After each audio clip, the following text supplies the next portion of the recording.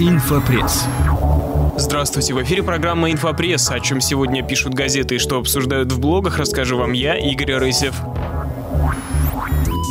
последние годы создавалось впечатление, что американцы усиленно готовятся к зомби-апокалипсису, но никак не к ядерной войне. Однако, как сообщает Лента это, видимо, был лишь отвлекающий маневр.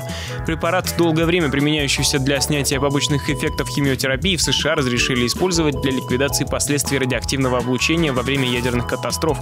Запасы препарата уже включены в стратегический национальный резерв США, хранилище антибиотиков, вакцин, противоядий и других средств, созданные для оперативной раздачи населению в случае химической, биологической или радиационной ядерной катастрофы. И такая готовность со стороны американцев пугает, как, собственно, и безрассудная готовность россиян использовать ядерное оружие. Инфопресс. Ни дня без тверка, как сообщает газета РУ, на этот раз станцевали его во Владивостоке на фоне русского моста, символа саммита АТС. Количество просмотров ролика в интернете превысило уже несколько тысяч. Ранее, кстати, стало известно, что Оренбургская танцевальная школа, прославившаяся скандальным танцем в стиле тверк в исполнении пчелок, возобновила свою работу. И думается, вместо того, чтобы ругать российских девушек за столь необычное проявление своего творческого начала, стоило бы уже просто признать тверк достоянием страны.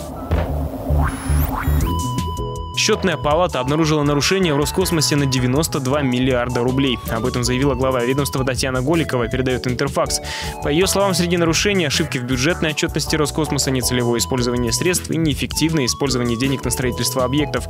И казалось бы уж кто-кто, а покорители космоса должны быть точными с цифрами, однако, видимо, не с теми, которые касаются денег. Инфопресс. Когда коммунальщики проводят испытания теплосетей, пишет в своем твиттере экс-директор Кировской комсомолки Максим Пасютин, у меня складывается впечатление, что на самом деле они испытывают мое терпение. Удачи в делах, это был Инфопресс с Игорем Рысевым. Инфопресс.